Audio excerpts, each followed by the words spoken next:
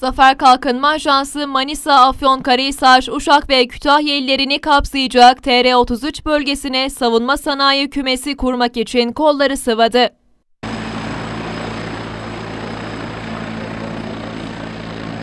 Zafer Kalkınma Ajansı ile Manisa Celal Bayar Üniversitesi arasında bu alanda devam eden çalışmalar hakkında bilgiler veren Zafer Kalkınma Ajansı Genel Sekreter Vekili Veli Oğuz, yerelde sağlanan işbirliğiyle kamu, sanayi, üniversite ve sivil toplum kuruluşunu da sürece dahil ettiklerini belirtti.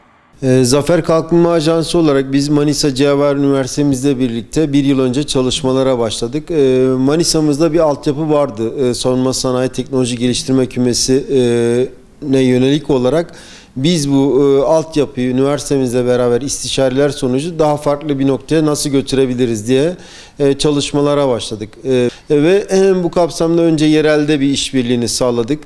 Hem e, kamu, üniversite, sanayi ve sivil toplum kuruluşlarının da ilgili dernekleri de bu sektöre katkı verebilecek e, sürece dahil ettik. Daha sonra da e, yapabileceğimiz çalışmaları merkezdeki savunma sanayindeki öncü firmalarımıza, e, kuruluşlarımıza arz ettik. Manisa merkezi olarak başlatılan çalışmalar zamanla Kütahya, Afyonkarahisar ve Uşak illerini de kapsayacak. Ve Manisa merkezli olmak üzere e, Afyonkarahisar, Kütahya, Uşak illerimizde e, ilerleyen süreçte içerecek şekilde bir savunma teknolojileri geliştirme kümesi e, oluşturma çalışmasına başladık. Proje kapsamında Aselsan, Roketsan, TAİ'ye tedarikçi firmalar yetiştirilecek ve Zafer Kalkınma Ajansı tarafından %90 hibe verilecek. E, Biz bu proje kapsamında firmalarımızı Aselsan'a, Roketsan'a, TAİ'ye e, tedarikçi olarak e, yetiştirmiş olacağız diyebiliriz. İkinci projemizin de bütçesi e, 16.5 milyon TL. Bunun da %90'ını ajansımız taahhüt etmiş durumda. Top Kütahya Seramiği ve Uşak Tekstili de savunma sanayisine entegre edilecek.